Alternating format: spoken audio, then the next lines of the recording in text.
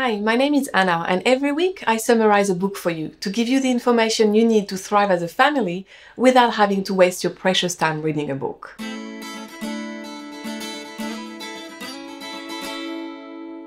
And if you are enjoying these videos, please subscribe to my channel, like and comment on these videos.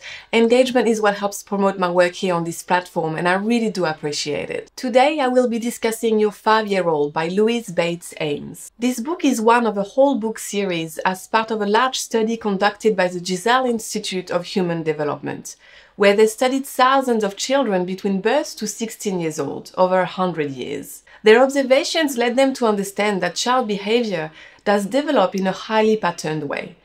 Just like babies had what we call regressions, young children also continue to have clear and predictable stages of equilibrium and disequilibrium, which basically means periods of regulation and periods of dysregulation.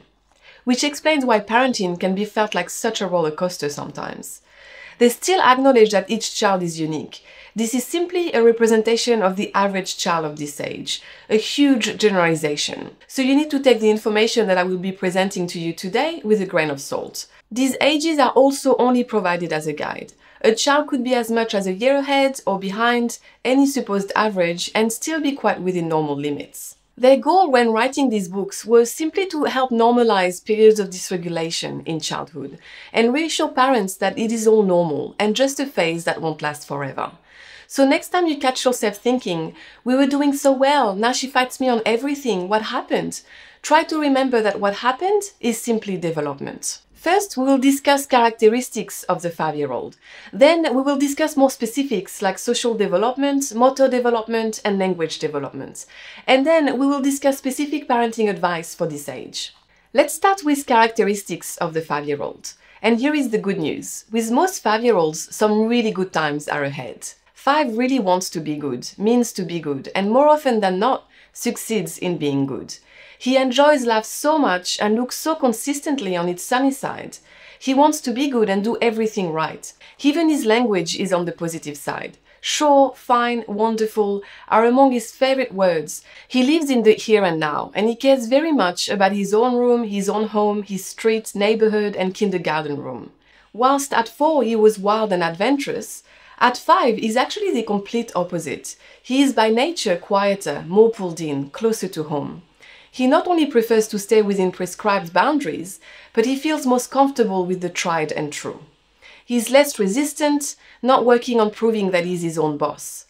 Unlike other ages, 5 often shows a remarkable ability to protect himself from overstimulation. He actually knows his limits quite well.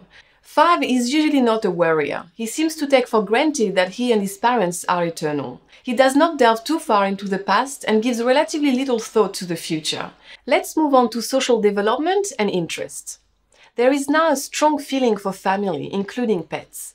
The five-year-old adores his parents. He sees them as the ultimate authorities. And they are especially close to their mom. They see her as the center of their world and they want to please her and be near her. In fact, they feel so close to their mom that they sometimes overestimate her ability to read their minds. And then they can get quite angry if she doesn't understand what they're talking about. What he loves most of all to do is play, and he loves to play with others, although he tends to play better with two friends than with three. And he loves to play house. Imaginative play is still very strong at this age. Five is a factual age, and most five-year-olds love to work with materials, to actually make things, which is why they tend to love kindergarten so much, where they do things like cutting, pasting, tracing, drawing, all activities that give him the chance to practice his increasing constructive and creative abilities. And they also love making big construction with blocks. Unlike his expensive four-year-old self, the five-year-old is now poised and controlled physically. And he appears more restrained and less active because he can actually stay in the same position for longer periods. And he loves to help around the house, so this is a great age to start getting them involved in doing chores. Whilst he is less active, one thing that he loves to do is to climb trees. And at five, usually the dominant hand is well established. In terms of dressing himself, mothers of five-year-olds tend to report that he can, but he just doesn't. And eating tends to take a long time because he loves to talk a lot and he tends to wriggle in his chair. And he may ask toward the ends to be helped to finish his plate. Now, let's move on to language. Though the typical five-year-old is not particularly physically expensive in most ways, he's expensive intellectually. He likes to be read to, likes to be talked to, and he loves to learn new facts. He likes to practice his own intellectual abilities. The typical five-year-old loves to talk so much that some parents complain that their child talks constantly. Most love to be read to, and they really like the idea that soon themselves will be able to read and he asks a lot of questions. He really wants to know. The five-year-old still has difficulty distinguishing between fantasy and reality. So it happened by magic is still an acceptable answer to a five-year-old question. He learns that action have both causes and effects, but he may still explain outside events in terms of his own wishes and needs, saying things like, it rained because I wanted it to. He may even believe that objects and natural events have human thoughts and feelings, saying things like, it rained because the cloud was angry. The five-year-old is beginning to try to figure things out for himself. He makes his own generalization, often based on inadequate evidence.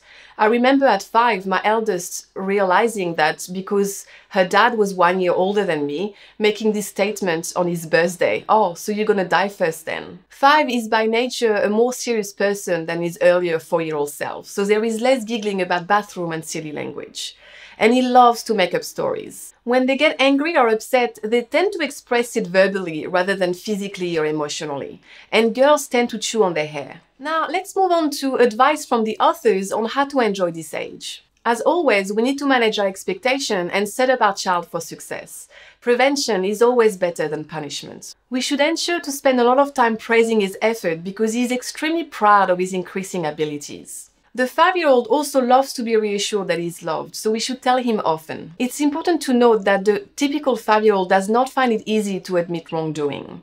They take it very personally, so we shouldn't push too hard. Another typical behavior that might upset parents is that five-year-olds can't resist to take things that belong to other people.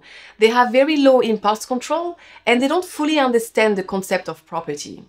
So when this happens, we should definitely return the object and explain that it's wrong, but we shouldn't make a big deal of it. Your child is not a thief. It's just typical behavior. It's completely normal. In terms of starting school, the author's position is that we should look at the child's behavior age and not their birthday age to determine if they are ready for school. Because a child might be high in IQ, but it might not have the necessary social and emotional development to sustain being at school for the whole day and thrive there. For five-year-olds, parents are the center of the universe. They want to be good, they want to do right, and they want to please us. So it is a great age to enjoy. Because the next predictable phase of dysregulation is coming, around five and a half year old or whenever your child reaches the next phase. At five and a half, all of a sudden, things aren't rosy anymore.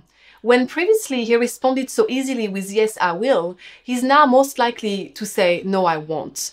He starts to disobey and go against what is expected of him, and he doesn't do it gently. He becomes brash and combative, and is characteristically hesitant and decisive at times, and at other times is over-demanding and explosive. Your child may be extremely shy one minute and then extremely bold the next.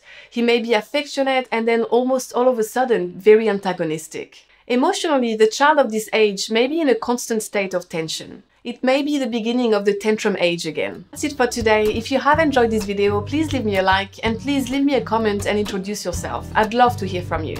Thanks for watching and keep growing!